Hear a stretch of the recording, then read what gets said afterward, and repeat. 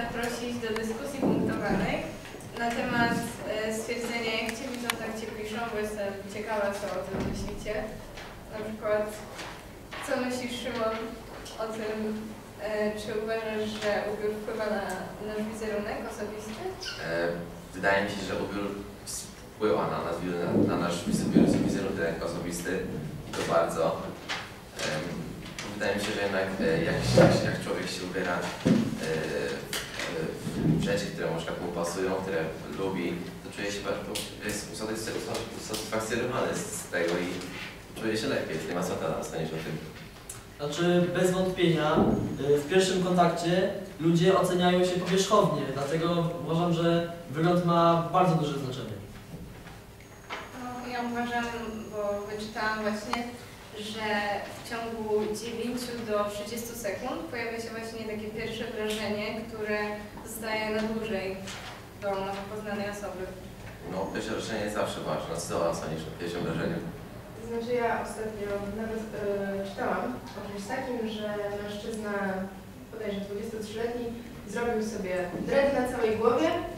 E, no i nie podejrzewał, że to się tak potoczy, ale jednak będąc w sklepie ochrona za nim wszędzie chodziła, ludzie patrzyli na niego e, inaczej, no i sądzę, że, że jednak jest coś takiego jak, to pierwsze wrażenie, że ludzie jednak oceniają się po wyglądzie. Jest takie przysłowie nawet, nie wygląd decyduje o tym, jak smakuje owoc, lecz to, co ma w środku. Y, Tak, a to przysłowie, jak Cię widzą, tak Ci piszą, y, to znaczenie tego mówi nam także o tym, y, że ludzie oceniają nas po wyglądzie zewnętrznym, to znaczy, iż estetyka, styl, czy nawet higiena osobista y, mają, są jakby są naszą wizytówką. Tak można to ująć. Ja. Ja uważam, że każdy może mieć swój styl i może ubierać się tak jak chce, wyglądać tak jak chce, ale jednak e, patrząc na osobę pierwszy raz, no to powinniśmy zwrócić uwagę na tę higienę i każdy powinien ją jednak zachowywać, być czysty, niekoniecznie jakoś pięknie ubrany naszym okiem, ale żeby nie był. No jeżeli chodzi o higienę, to masz rację, ale na przykład z jednej strony to jest takie trochę niesprawiedliwe, że osoba, która no, na przykład jest e, gorzej ubrana e, lub jest mniej pewna siebie, jest, nie jest, e, ma mniejsze szanse na kwalifikację do pracy, prawda? Dokładnie, też widziałem ostatnio taki film na, na, na, na YouTubie, że Cristiano Ronaldo został- został przebrany za bezdomnego i bawił się po prostu piłką na, na, na, na rynku staromiejskim, znaczy w Madrycie. Odbierał sobie piłkę, jakieś triki robił i był przebrany za bezdomnego i nikt na niego nie zwracał w ogóle uwagi. Wszyscy przychodzili obok niego, jakby go w ogóle nie widzieli. A jeśli jak kiedy zdjął przebranie, to od razu się zrobił cały tłum wokół niego, bo to od razu jest gwiazda. A jak był przebrany za bezdomnego, to nikt po prostu nie, na jego uwagi nie zwracał. Widziałam to też. Też taki podobny eks- eksperyment społeczny widziałem em, na YouTubie, e, że był taki pan, który e, przebrał właśnie się za bezdomnego, e, e, prosił tam przypadkowych przechodniów o to, czy może zadzwonić do, tam, do, do mamy w szpitalu, bo, bo już umierająca jest, czy coś takiego. Po prostu był gorzej ubrany. A na przykład ubrał się za jakiegoś prezesa, no i było, była taka konfrontacja. Był ubrany za prezesa, był, był naprawdę ekskluzywnie ubrany, y, to mu ludzie chętnie pomagali, a w drugim przypadku jak był gorzej ubrany, to właśnie. No i później y, podchodził do tych ludzi i ej gościu, pomogłeś mi y, y, jak byłem ubrany za prezesa, a jako, jak gorzej jestem ubrany, to mi nie pomożesz. No takie no, mnie to cie- zaciekawiło mocno. Sądzę, że przyjaźń się tu różnych ludzka, to nie co o tym sądzisz? Większość społeczeństwa po prostu odrzuca osoby, które nie mają tego, co no mają mniej. Są gorzej ubrane, zadbane. Nie zwracają. No, na pierwszym wrażeniu na pewno nie idziemy, nie idzie nasz humor, tacy jacy jesteśmy, tylko nasz ubiór. Też jest dosyć przykre. Ja również miałem okazję widzieć taki filmik jak Artur, z tym, że różnica była taka, że y, była tam pewna kobieta, która y, w przebraniu wyzywającym y, pytała różnych ludzi, których spotkała, o drogę do jakiegoś tam miejsca. I o dziwo, wtedy ludzie bardzo chętnie mówili i pomagali, a gdy przebrała się w mniej wyzywające ciuchy, jakieś dresy, y, znoszona kurtka, wówczas y, ludzie wcale jej nie pomagali i zbywali ją. A co, a co sądzicie na przykład o jakiejś otyłości, czy to też, znaczy, czy po tym też można jakoś oceniać człowieka, że nie dba o siebie, albo, albo wręcz przeciwnie, jak ktoś jest bardzo duży, że ma jakieś problemy psychiczne. Właśnie też prowadzi do tego pierwszego wrażenia, że jak się widzi pierwszy raz osobę, się właśnie nie pasuje, że na przykład ta osoba albo się zaniedbała, ale nie wiadomo, może ta osoba jest chora, na, jest może chora na jakąś chorobę i po prostu nie, że się nie, nie, nie za- zaniedbała, tylko jest chora na coś i wiesz, pierwsze, pierwsze tak jak Kolumbia, 15-30 sekund, pierwsze wrażenie, no, się ocenia osobę. Człowiek ocenia poznaniem i filtrami, na przykład w dzieciństwie nabył jakichś stereotypów i później y, ma takie filtry w głowie i poznaje, że, że człowiek jest otyły, to pewnie o siebie nie dba. Y, człowiek y, z, nie wiem, z anoreksją, y, znaczy jest bardzo chudy, ma od razu y, anoreksję i musi koniecznie być chory, a może po prostu ma jakieś inne problemy. Ja właśnie wyczytałam, że 46% kobiet i 64% mężczyzn choruje na nadwagę, więc no, większość ogólnie jest postrzegana, że nie dbają o siebie, że po prostu się nie chce nic robić, a tak naprawdę to nie jest ich, z ich winy, prawda? Tak, a w pierwszym kontakcie, jeszcze wracając do tego, y, takiej otyłej osoby właściwie nie znamy, nie znamy jej prawdziwego wnętrza, dlatego y, bardzo nierozsądnie jest poznawać ją i może czasem nawet nieświadomie, tylko zewnętrznie. Ja Dobra. Chciałabym przywołać taki przykład z życia, znaczy trochę troszeczkę inny, bo nie o tej otyłości, e, tylko o osobach niepełnosprawnych, bo znaczy ludzie mówią, że no to wiadomo, że mamy świadomość, że osoby niepełnosprawne, no to inaczej się do tego podchodzi, nie patrzy się, że ktoś się do nieba, tylko po prostu tak jest, a nie inaczej. No ale jednak przyznajmy sobie, że ludzie w naszym wieku omijają takie osoby. E, Bardzo często jest takie, takie niefajne, niefajne relacje między takimi ludźmi, a ja powiem, że e, 5 lat temu poznałam dziewczynę, która jest niepełnosprawna e, i nie odzywa się do ludzi, bo się wstydzi, bo ludzie po prostu nie, nie, nie szanują jej. A jak poznałam jej wnętrze, to jest naprawdę taką, taką fajną osobą, ciepłą i przestałam to zauważyć, że ona jest niepełnosprawna. Czasami aż się zapominałam, że no to weź podnieść coś tam i ona wtedy tylko na mnie patrzy. Ale ogólnie jest taka wnętrze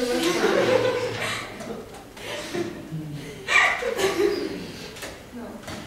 Ale ogólnie to ja jeszcze widziałam, że 9 na 10 e, przykładów osób, e, zanim zaczniesz w ogóle rozmowę z tą osobą, już ma o tobie wyrobione zdanie. Więc to jest też niesprawiedliwe, uważam. Ale no, ludzie tak niezbyt na tym panują. No i tutaj właśnie w rolę wchodzą stereotypy właśnie, o których wcześniej powiedziałem, że że jak widzimy taką i taką osobę, to już od razu dopasowujemy jakby charakter do tego, a to może być zupełnie inna osoba niż nam się wydaje. Igor, a co sądzisz o w pracy? E, Ja uważam, że w pracy powinien być e, zachowany tak jak, tak jak jest w prawach tego, tego człowieka, który tam pracuje i nie powinien być jakiś bardzo wzywający, bo jednak on, ta osoba się najczęściej prezentuje innym ludziom i no, Też od pracy zależy, bo jak też pracuje. tak, Eee, w, w jakimś biurze to też nie będzie jakiś e, garnitury na przykład albo takie rzeczy. A na przykład jeśli ktoś pracuje w szkole, to już też może o luźniejsze rzeczy typu koszulka i takie tak. Albo jak ktoś zajmuje się w branży modowej, no to też będzie inaczej się ubierał niż, nie wiem, jak nauczyciel. A co, co sądzicie o tatuażach? Na przykład w, e, w pracy aktora.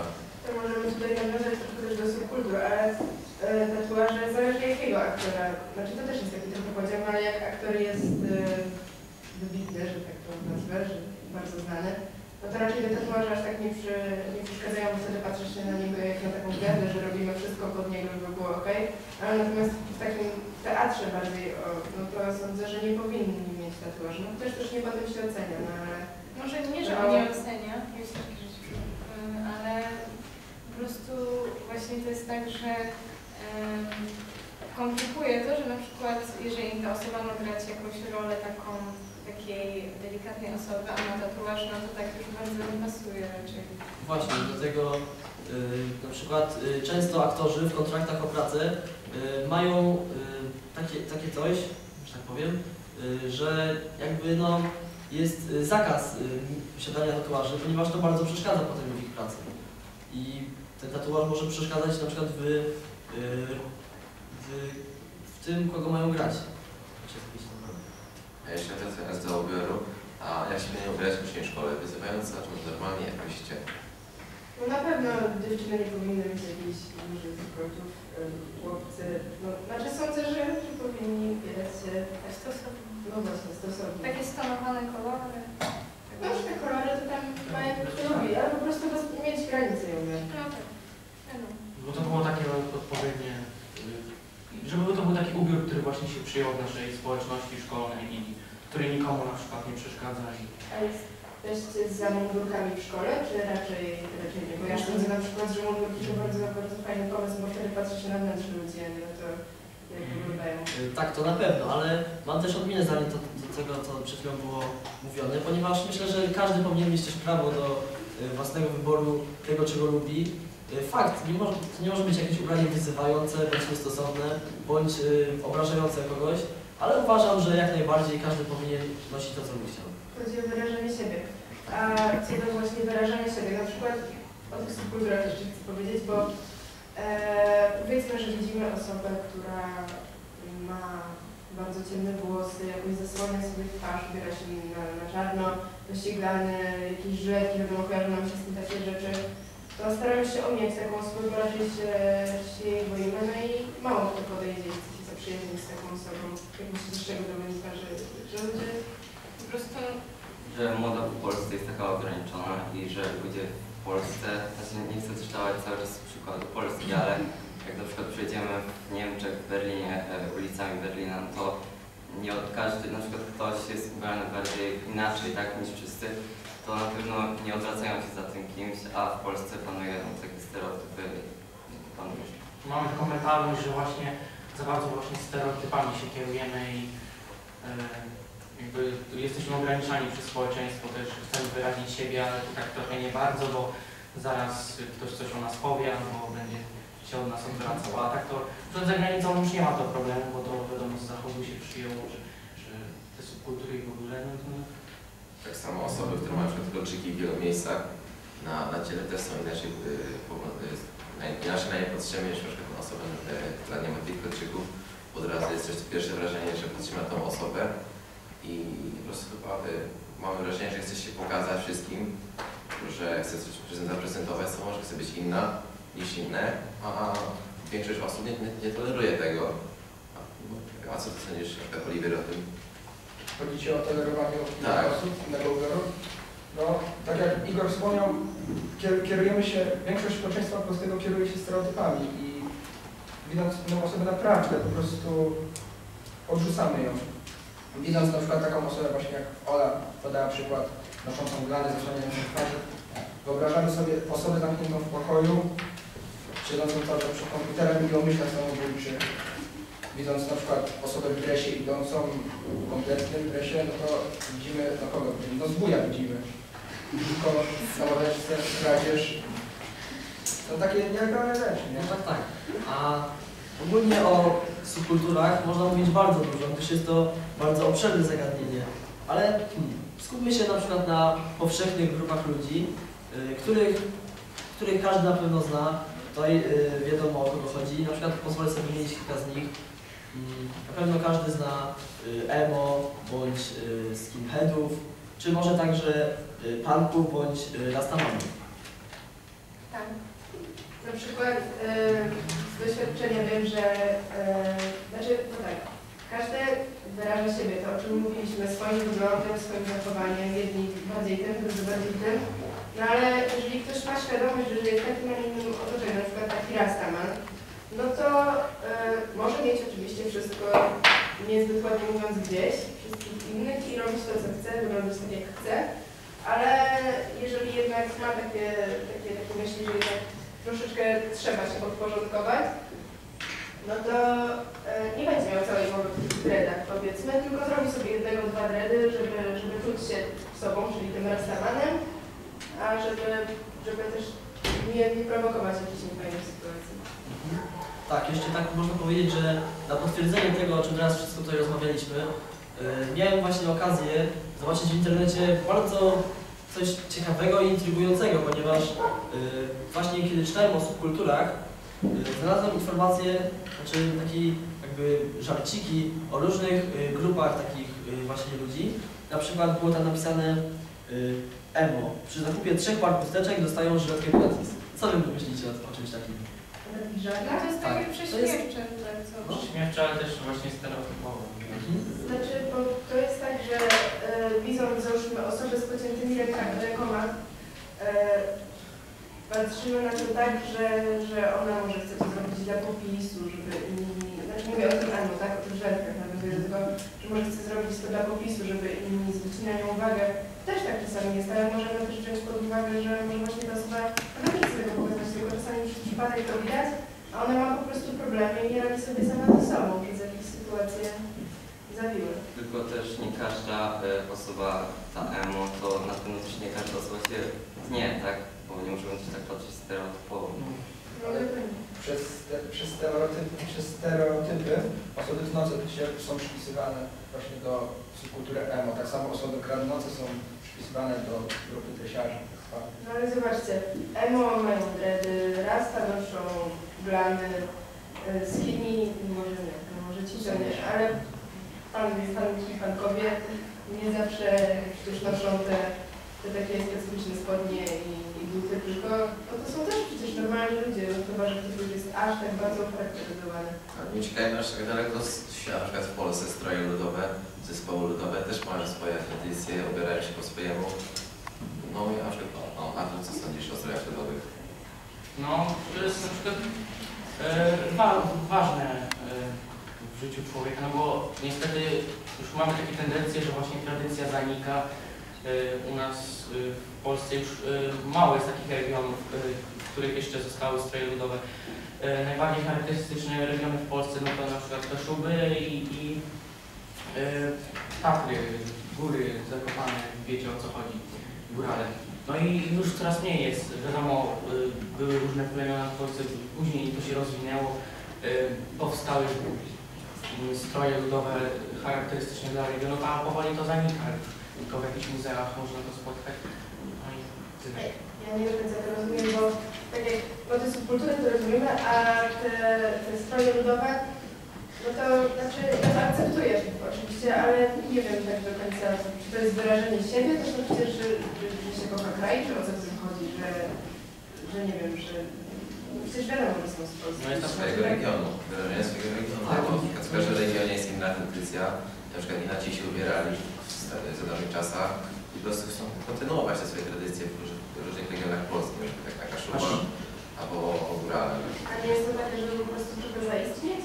Powinniśmy też zauważyć, że osoby ubierające stroje ludowe wyglądają inaczej w naszych oczach, tak? Na przykład takie osoby ubierające się, starające się wykazać siebie. Widząc osoby stroje ludowe, wyobrażamy sobie wow, nie wstydzi się tego, że kocha kraj, ma, ma swoją historię, pochodzi z jakiegoś plemienia. Natomiast osobę taką emo, czy tam rasta, czy kogoś z subkultury, widzimy sobie w dziwaka, że no.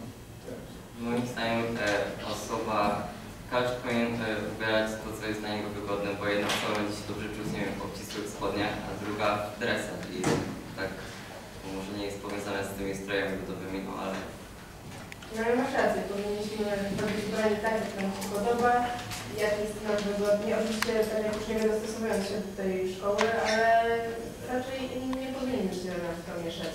no ale często się mieszają. Niektórych osób też nawet nie stać na te modne rurki, tak? Na przykład jest taka osoba no, z biednej rodziny, chciałaby na przykład założyć, ubrać, ubrać coś modnego na siebie, ale jej nie stać, no i jest, musi założyć ten tani dres.